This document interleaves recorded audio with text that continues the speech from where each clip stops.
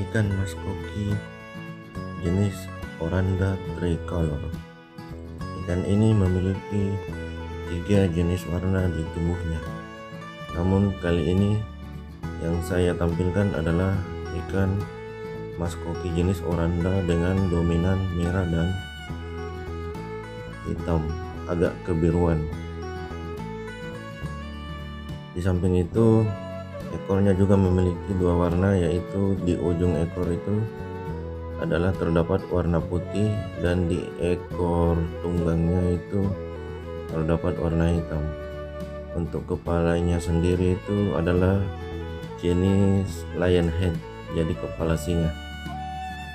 Sangat indah jika ditaruh di akuarium dengan pencahayaan yang redup jangan lupa like dan subscribe channel Dain Secret terima kasih. Assalamualaikum warahmatullahi wabarakatuh